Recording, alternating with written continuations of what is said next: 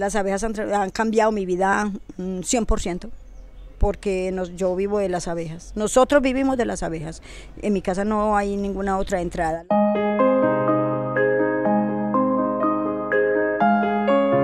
Mieles el tigre bajó, eh, nació por la discapacidad de mi esposo.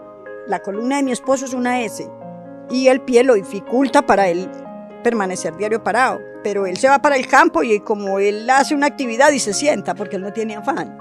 Y nosotros hacemos el resto y él sabe mucho lo que es la parte teórica de las abejas. Y ya vi que eso era lo mío y que yo sí, la miel sí se podía y que nosotros sí podíamos sobrevivir de las abejas.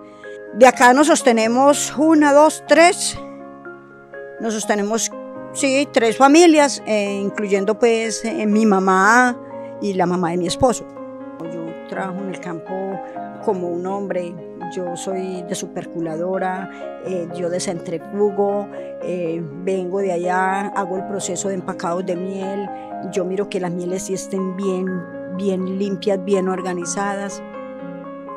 Y ya debido a eso yo ya me fui como, como empapando y me fui enamorando de todo mi procedimiento de la miel y de las abejas. Entonces no tengo vuelta atrás porque estoy empapada de lo que es el medio ambiente y lo que significan estas vidas, porque las abejas son vidas para nosotros.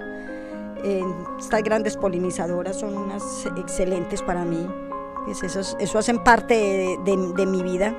Miel es el tigre, abejas felices, familia sostenible.